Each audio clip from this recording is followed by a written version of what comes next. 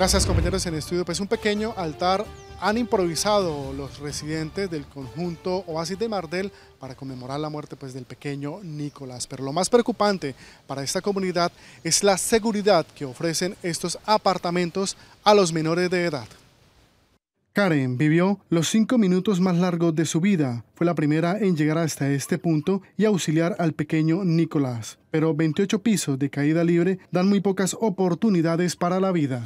El niño se sale por la ventana más pequeña del apartamento. Pero yo cuando agarro al niño, el niño estaba gelatinoso. O sea, el niño si se cae del 28 piso imposible. Yo agarré a ese bebé, o sea, para mí eso fue, eso fue a la 1 y 50 y para mí esos cinco minutos se convirtieron en un, en un minuto. Yo no sé si eso fue minutos, segundos, no supe. Pero, ¿qué tan inseguro es la infraestructura de estos apartamentos para un menor de edad?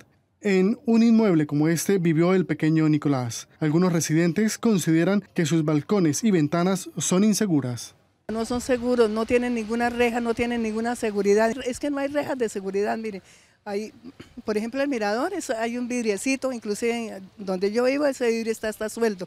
Otros residentes del conjunto opinan lo contrario.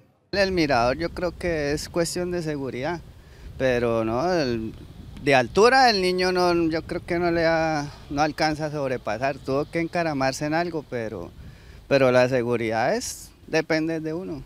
Personalmente no, no, no creo que sean tan, tan inseguros, lo que pasa es que eh, las habitaciones muchas eh, tienen hacia, hacia el borde más vidrio que, que material de, de cemento.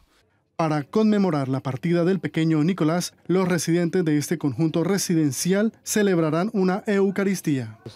Estamos mm, preparando aquí el lugar porque se le va a hacer una misa al niño esta noche a las 7 y 30 de la noche. Este altar, adornado con flores, veladoras y recuerdos del pequeño, acompañará el luto de esta comunidad mientras recuerdan la sonrisa del inocente Nicolás.